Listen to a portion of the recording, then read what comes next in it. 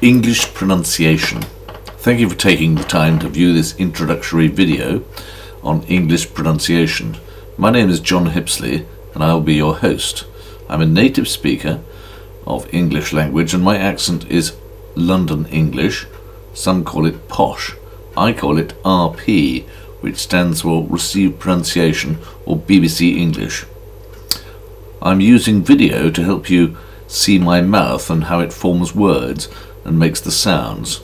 English can be one of the hardest to master as a second language, harder still pronunciation of words.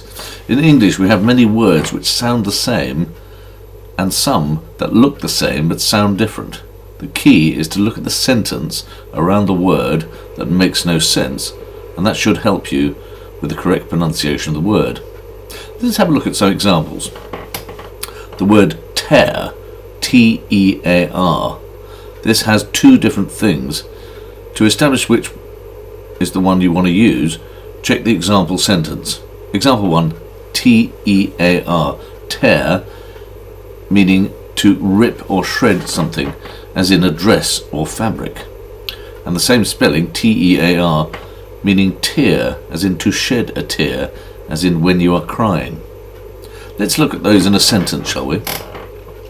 As the girl read the loving letter from her boyfriend, again a tear rolled down her cheek and touched her lip.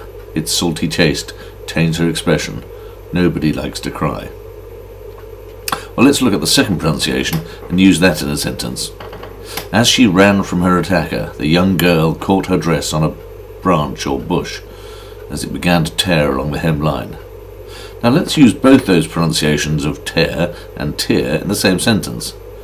As Maria ran towards her father at the train station, she was so happy to see him after so many years that a tear rolled down her cheek, and her vision was blurred by the smoke from the train. She did not notice a spike sticking out from the wall, and as she ran, she heard it tear her dress. It was her favourite. She would have to sew it up later.